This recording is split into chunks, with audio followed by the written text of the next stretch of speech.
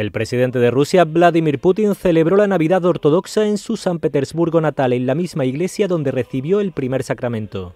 El mandatario ruso, un creyente confeso, acudió a la Catedral de la Transfiguración de San Petersburgo para asistir a la Misa del Gallo. Putin, que tradicionalmente opta por celebrar la Navidad fuera de Moscú, ya se decantó por asistir a la Misa del Gallo en este mismo lugar en 2009 y 2012 cuando era primer ministro.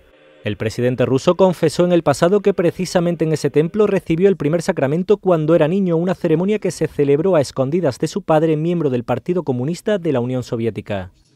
En su felicitación a los creyentes, Putin destacó el papel de la Iglesia Ortodoxa rusa en el fortalecimiento de los valores morales y espirituales de la sociedad, la conservación del legado histórico y cultural, así como la educación de los jóvenes.